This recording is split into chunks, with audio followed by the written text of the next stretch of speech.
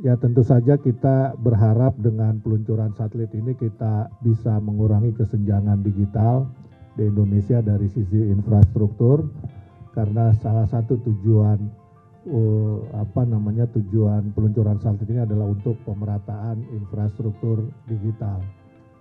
Sering dikatakan no one left behind, jangan sampai ada orang Indonesia yang tidak bisa punya akses uh, ke uh, internet. Satelit ini akan dimanfaatkan untuk uh, kepentingan uh, publik.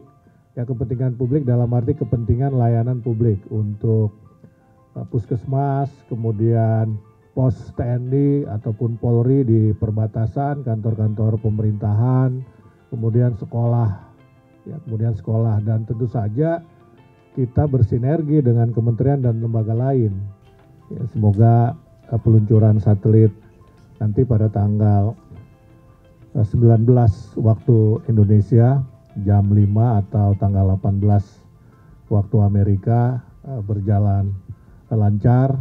Ya kita semua mengharapkan dukungan, doa seluruh masyarakat Indonesia yang nanti bisa menyaksikan peluncuran lewat Kominfo ya YouTube-nya Kominfo dan peristiwa nanti pada tanggal 19 waktu Indonesia atau 18 waktu Amerika adalah